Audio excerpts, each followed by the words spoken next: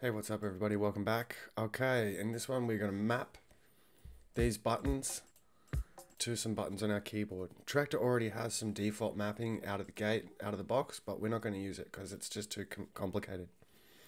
So we go up here and we go to device and you can see there's some um, keyboards that I've already made. I've done this a bunch of times this morning because it keeps glitching out on me. See if it works this time. Alright, so you can just add a new one just by clicking add and then add generic keyboard.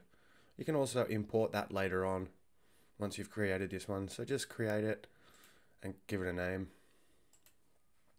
I'll call this one glitch because it's glitching out. This must be the 10th time I've tried this video for years. Okay, so now what we want to do is we want to assign these buttons, okay, these keys. So let's go to add in, deck common, and let's go play device down here, we want device target, so we want deck A, because we want deck A to be uh, manipulated here. And then we click this button here, learn. So now when I hit a key on my keyboard, Traktor's going to learn which key it is to represent this. So let's hit S for Sierra. Boom, and it's not working. Oh, sorry, I need to change this to keyboard. Okay, let's try that. Good, now it's working. All right, so this one we want it to toggle. So when we hit it once, oh, sorry, this one Oh, what's going on here? Play, pause, yeah, deck A. Okay. Why? Why is it doing this to me?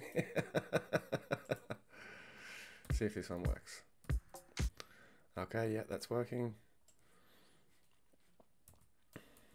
And okay, that's working.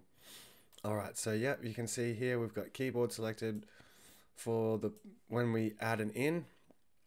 So you add an in, go to deck common, select your play pause, and um, once you've done that, excuse me, select deck A, because that's the device you want to um, target, and then you learn, and hit A.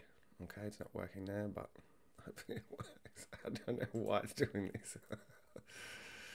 All right, let's close this and just see if it works. Yes, it's working. And the cue is working as well. All right, I don't know why. It's just Traktor being crazy.